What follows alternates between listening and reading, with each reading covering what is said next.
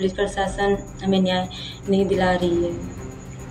वो वो लोग घूस ले लिए हैं, उन्हें पकड़े तो ज़रूर हैं, लेकिन उन्हें मारा नहीं गया है। हम लोगों को दिखा दिया गया है कि पैर पे गोली मारी गई है, लेकिन इंसाफ हमारे साथ नहीं हो रहा है। पुलिस प्रशासन हमारे साथ बहुत अन्याय कर रही है, हमें इंसाफ नहीं दिला रही है। तो बहराइच हिंसा में मारे गए राम गोपाल मिश्रा की पत्नी पुलिस पर गंभीर आरोप लगा रही है। कह रही है कि पुलिस उनके साथ अन्याय कर रही है। राम गोपाल की पत्नी पुलिस पर घूस खाने का भी आरोप लगाती है। लेकिन क्यों? राम गोपाल की पत्नी पुलिस पर इतने गंभीर आरोप क्यों लगा रही है? वो हम आपको तफसील से बताएँगे। लेकिन उसके पहले देखिए वो वीडियो जो राम गोपाल की पत्नी ने सोशल मीडिया पर शेयर किया, जिसमें राम गोपाल मिश्रा की पत्नी ने कह दी बड़ी बात। राम गोपाल की पत्नी, जिनकी आज से चार दिन पहले हत्या हुई है हम न्याय मांग रहे हैं, जो न्याय हमें मिल नहीं रहा है, पुलिस प्रशासन हमें न्याय नहीं दिला रही है। वो वो लोग घूस ले लिए हैं, उन्हें पकड़े तो ज़रूर हैं, लेकिन उन्हें मारा नहीं गया है। हम लोगों को दिखा दिया गया है कि पैर पे गोली मारी गई है, लेकिन इंसाफ हमारे साथ नहीं हो रहा है।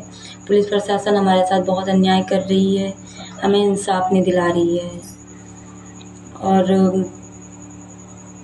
क्या ही कहें पुलिस प्रशासन हमारा साथ नहीं दे रही है, जो हमें चाहिए, वो हमें मिल नहीं रहा है। तो रामगोपाल की पत्नी बहराइच मामले में हुए एनकाउंटर को लेकर सवाल उठाती है। कह रही है कि पुलिस आरोपियों को बचाने की कोशिश कर रही है।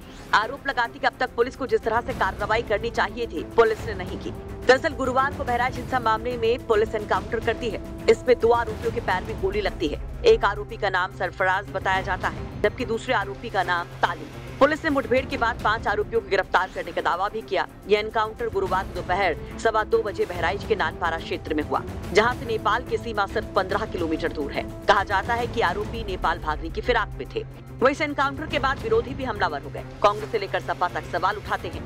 आपको बता दें कि बहराइच में हुई सांप्रदायिक हिंसा में मारे गए राम गोपाल मिश्रा के परिवार ने अभी कुछ दिन पहले मंगलवार को सीएम योगी से भी मुलाकात की थी, जिसमें राम गोपाल की पत्नी भी शामिल थी। इस मुलाकात के बाद परिवार का वो बयान भी सामने आया था, जिसमें बताया गया कि योगी सरकार की तरफ़ से उन्हें क्या क्या आश्वासन दिया गया है। रामगोपाल का परिवार बार बार खून का बदला, खून की मांग करता रहा। और अब जब एनकाउंटर में इन आरोपियों के पैर में गोली लगी है तो इसी को लेकर रामगोपाल की पत्नी सवाल उठा रही है। आपको बता दें कि 13 अक्टूबर की शाम दुर्गा प्रतिमा विसर्जन के लिए जुलूस के दौरान बवाल हो गया था। जब ये जुलूस महाराजगंज बाज़ार में समुदाय विशेष के मोहल्ले से गुजरा तो नारेबाजी और डीजे बजाने को लेकर दो पक्षों में पहले कहा सुनी हुई और देखते ही देखते ये कहा सुनी बवाल में तब्दील हो गई। आरोप है कि इस दौरान छत से पत्थर फेंके गए, जिससे विसर्जन में भगदड़ मच गई। इस बीच गोलीबारी भी हुई, जिसमें राम गोपाल गंभीर रूप से घायल हो गया, उसे बहराइच मेडिकल कॉलेज लाया गया, जहाँ उसने दम तोड़ दिया। राम गोपाल की मौत के बाद तो मानो बहराइच में बवाल और बढ़ गया। दो दिन तक बहराइच रह रह कर सुलगता रहा। लखनऊ से आशीष श्रीवास्तव की रिपोर्ट, यूपी तक।